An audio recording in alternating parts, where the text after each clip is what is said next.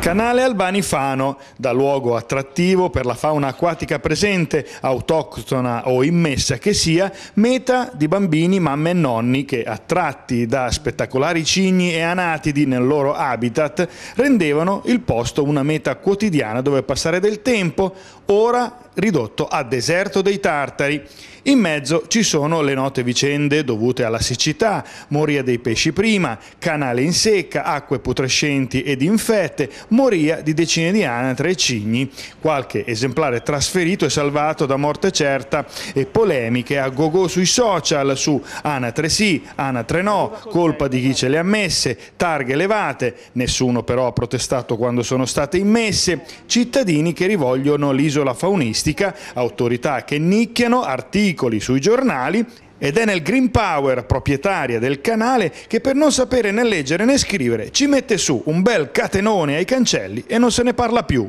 Ma oggi un fatto nuovo. Nel mezzo del letto del canale, preda delle erbacce ormai, un cartello dalla scritta molto eloquente. Il cartello c'è scritto solo vergogna. Cosa ne penso? Mi dispiace perché era una bella cioè il canale, i cigni, era un'oasi bella anche per i bambini.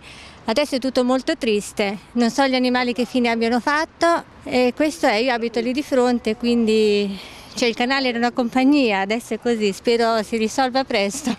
Purtroppo è così, è un peccato perché era tanto bello, speriamo che qualcosa migliori. Che ne pensa? Eh, in effetti è un po' così.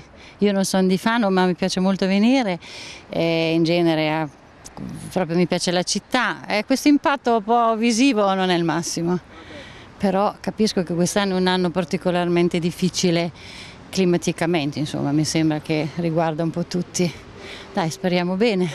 Eh, beh, eh, senz'altro è davanti agli occhi di tutti la, il degrado di questa, di questa situazione qui.